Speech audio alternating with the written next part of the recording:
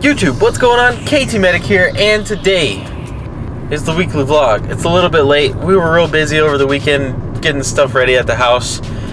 We had to do a little bit of laundry, or a whole lot of laundry. Actually, it took us like a whole day.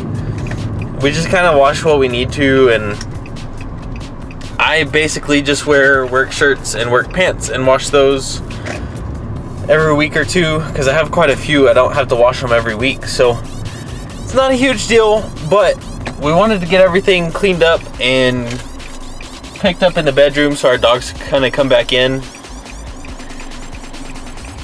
and not have to stay outside all the time.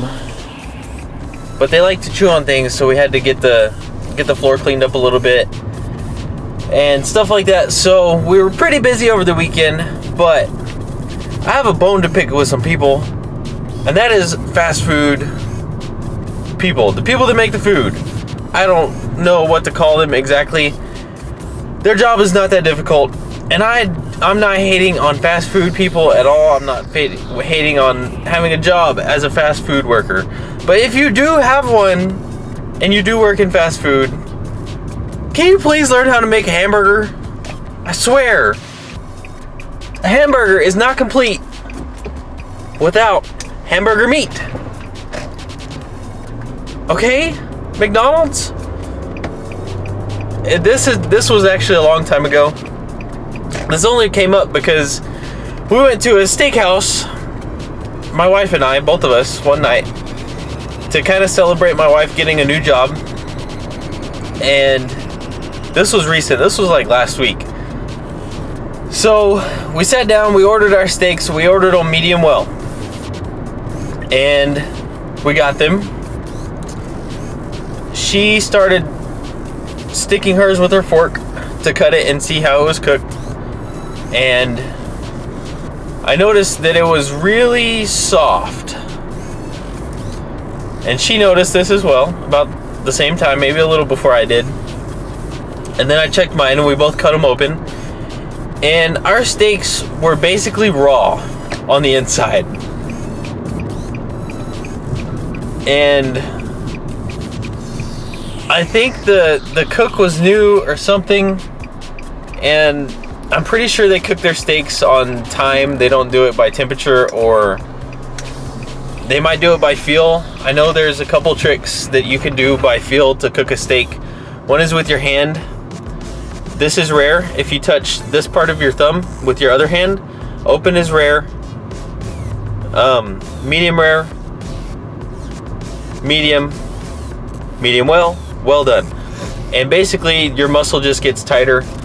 And that's about how the steak should feel for those doneness levels of steak cooking. So, we get our steak, and it's it's basically raw in the middle. This is past rare. It is not even rare at this point. It's blue rare, and it is pretty disgusting. So we get the server back over there, and she takes them back. They re or they cook them longer. They don't have to recook them because they didn't cook them too long. They just didn't cook them long enough. And throw them on the grill for a little bit longer, and everything turns out great. Tasted great after we got them recooked. So it wasn't a huge deal, it was just kind of an inconvenience. And if you're gonna be a cook at a steak restaurant, you would think that you should probably know how to make a steak or cook a steak to certain doneness levels and probably not below rare. But it was kind of a strange experience and then I remembered my McDonald's experience from a while back and I had a hamburger without a hamburger patty and it just it amazes me at how the food industry gets by with some of these things.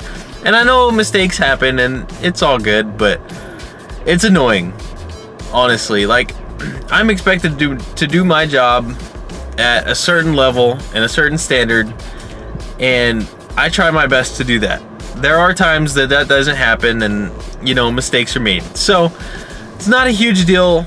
It is a little bit annoying, but everybody made it out alive. We got our food cooked. Everything turned out okay. But another thing that really bothered me lately uh, the past few weeks, I needed some lights for my work truck. And we use a certain shop for certain things here. And I'm not gonna name names or anything like that, but I told them three weeks ago, stop by, they got the numbers and everything they needed so they could order the lights that I needed. I was going on call the next week. So I wanted to get my lights in. I needed a headlight. So I wanted to get my headlight fixed because I knew I was gonna have to work overnight when I was on call and I did. So I could get my headlight and be safe and everything like that. So the rest of that week go, goes by. I figured it'd take a, probably a couple days if they had to actually order something from maybe not in town. So gave them the benefit of the doubt. Now the next week came and I called him about the middle of the week and he said that he had ordered them but something didn't come in so he would have to reorder it and he would call me back. Another week goes by or a week and a half and I call him this morning and I ask if my lights are in, if if he's heard anything, whatever, because I haven't heard anything. And he tells me that he has not ordered anything in three weeks. Has not ordered anything. He can order them today and have them here in the next couple days. Like that was okay. That he just forgot for three weeks. And I reminded him in the middle of all this. And this is basically one of our we're probably their biggest corporate account that they have. So that's just completely unacceptable. And not that, that we're a we're better than anybody because we're a corporate account, but just that your business is run that way.